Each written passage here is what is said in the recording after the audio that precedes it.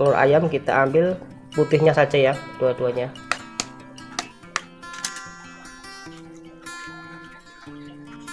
Menggunakan telur bebek. Juga bagus lebih bagus ya bosku ya.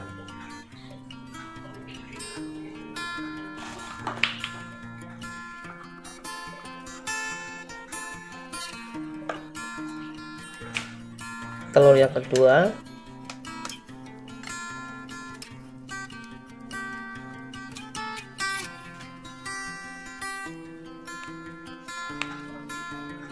bosku ya seperti ini. Ini telur ayam dua butir diambil putihnya saja. Untuk langkah selanjutnya.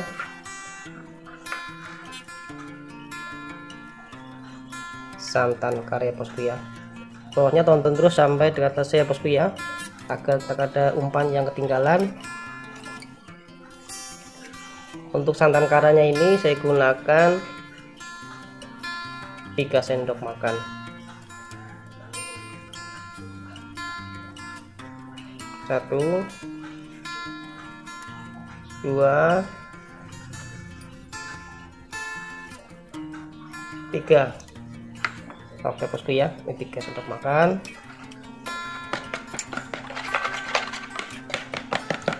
Kita aduk dulu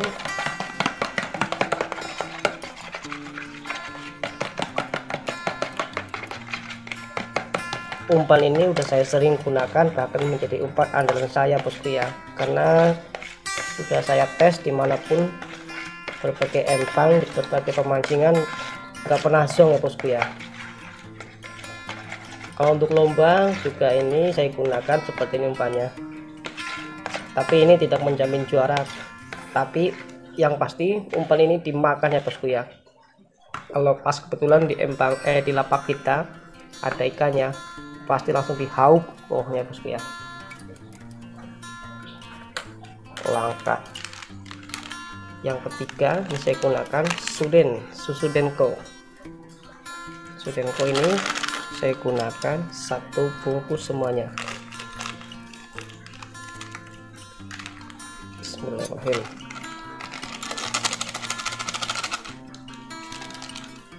Satu bungkus semuanya kita aduk dulu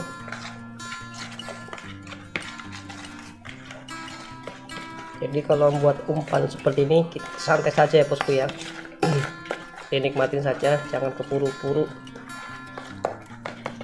Kita aduk hingga tercampur merata.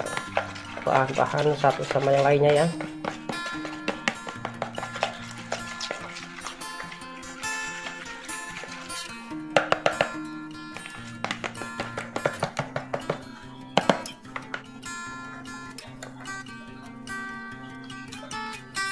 langkah yang keempat selanjutnya ini. Paikin yang label merahnya ya bosku ya. Yang labelnya merah. Saya gunakan satu bungkus semuanya saja.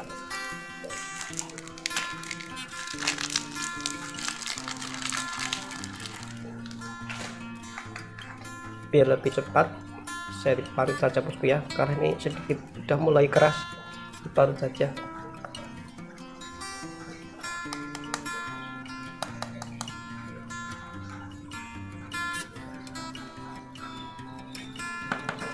bisa gunakan setengah atau satu bungkus ya bosku ya. Kita aduk dulu ya bosku ya. Ini. Aduk. Pastikan tidak ada yang mengumpal ya bosku ya. Biasanya mengumpal itu paikinnya selangkah selanjutnya kita tambahkan kroton ya bosku ya. Kroton kurang lebih satu dua tiga sendok. Lebih banyak lebih bagus ya bosku ya.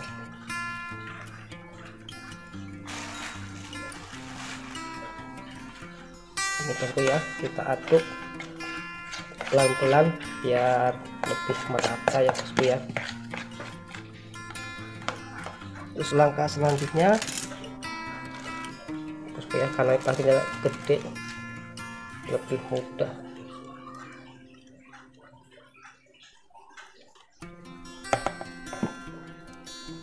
ini bosku ya daun pandan satu helai oh.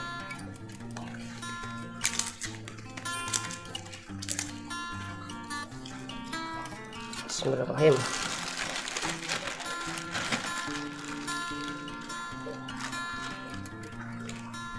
Pastikan di dalamnya tidak ada angin gelembung ya bosku ya. Biar di rebus itu enggak gelembung oke seperti ini bosku ya. Tinggal kita rebus. Rebus.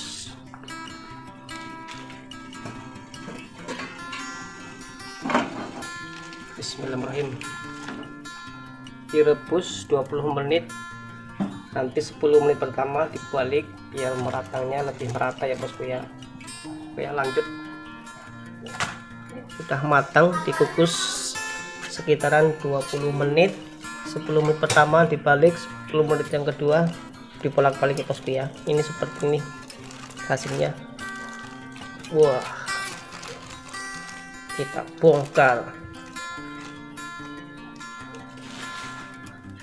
Masih kemabul ya bosku ya. Kita aduk.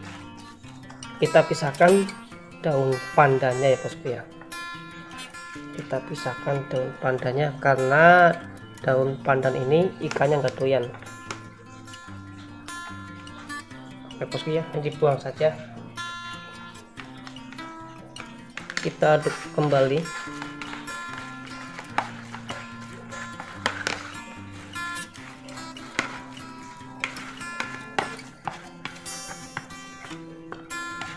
Ini bosku ya sekiranya sudah merata agak sedikit hancur semuanya. Sudah halus ya kita tambahkan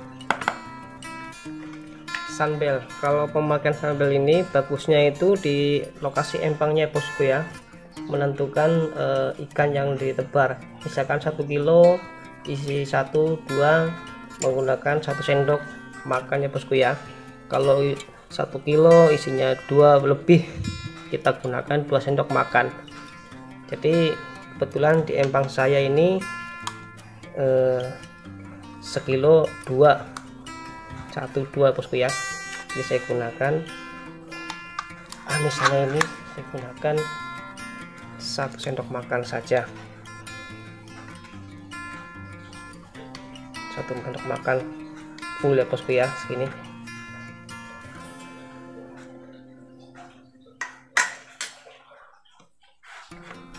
kita haluskan dulu ya bosku ya sampai sehalus mungkin.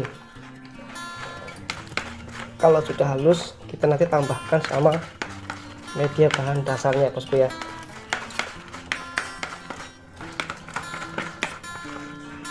Kalau bos-bosku punya esen andalan kita tambahkan esennya ke dalam eh, amisannya ya. 3 tetes kalau punya esen andalan kita taruh di esen eh di amisannya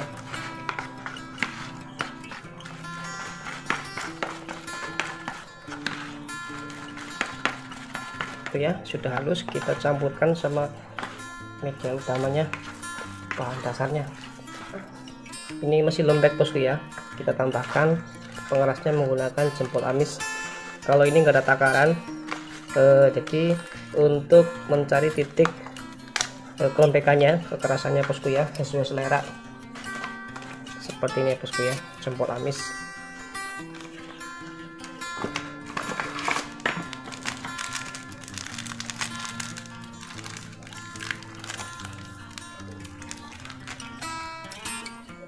Kalau kita takar ya paling tidak ini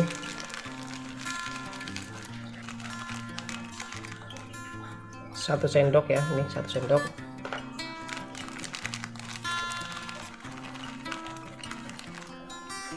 Dua sendok.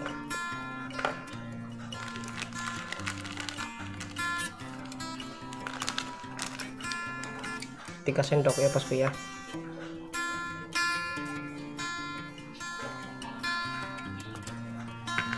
Tiga sendok kita campurkan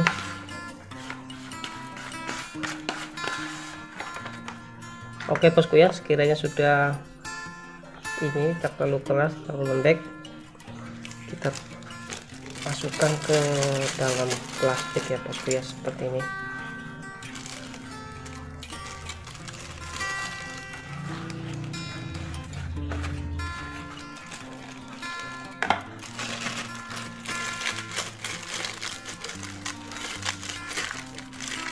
Oke seperti ini bosku ya semoga umpan ini saya harapkan di empang lokasi teman-teman sahabat semuanya gacor ya bosku ya. Dan sedikitnya ini bisa buat referensi ya bosku ya. Semoga bermanfaat. Kita gas ke empang. Lanjut. Terima kasih. Saya sekarang sudah di tempat pemancingan mandor bacok. Lokasinya berada di Cikarang Bekasi Kampung Ceker ya ini pemancingannya ada dua tempat dan yang ini buat malam. Ada lagi yang sebelahnya eh, buat harian ya yang sebelahnya. Dan ini yang sebelahnya yang keduanya ini buat harian buat siang harinya. Oke ya lanjut kita mancing. gas